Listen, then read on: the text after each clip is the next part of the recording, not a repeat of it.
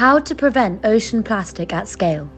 We can prevent ocean plastic at scale by choosing to use the recycled plastic we already have in this world instead of using new plastic.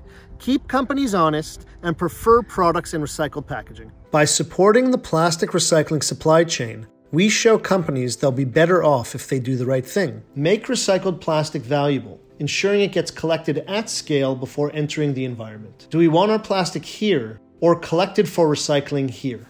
being decontaminated and reused. Almost every piece of new plastic packaging can be replaced with recycled plastic if you choose to buy packaging that contains recycled content. Using the plastic we already have in this world is better than adding new plastic to it and stops plastic at scale from going into the ocean.